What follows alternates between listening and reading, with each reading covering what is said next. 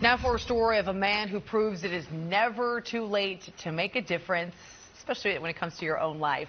At 81 years young, Roberto Viana has earned an associate's degree in supply chain management from Broward College. You see, Roberto worked in electrical engineering for more than 40 years, but he did that in Peru. After moving here to the U.S. to join his sons, he realized he wasn't ready to retire. So what did he do? He went back to school, learning English along the way.